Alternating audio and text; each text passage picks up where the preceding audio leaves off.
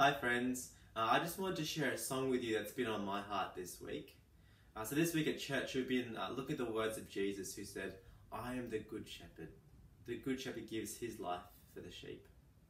I've been thinking a lot about the meaning of those words this week in particular as I see a lot of the crazy stuff going on in the world, and particularly uh, some of the racial injustice and the ways that uh, leaders and police have been uh, wielding their power um, over vulnerable people. That's been really getting me down. So I've been clinging uh, to the words of Jesus, who gave us a different idea of leadership. A leadership that lays down its power, lays down his own life to protect people. And this song has been a way I've been able to keep reminding myself of that through the week. Uh, it's a song that tells about the kind of leader that Jesus is, the leader who walks beside us in our suffering um, and who sees us and knows us personally. Uh, so I hope this song encourages you as well. Uh, it's a song called Shepherd by CityAlight. Though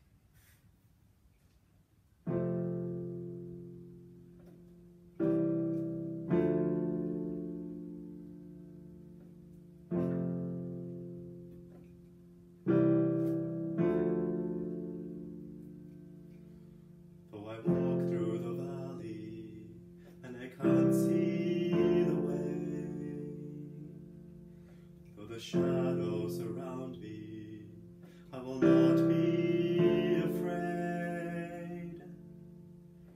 For I know you are with me, you will always provide. Though the path may be lonely, you will stay by my side.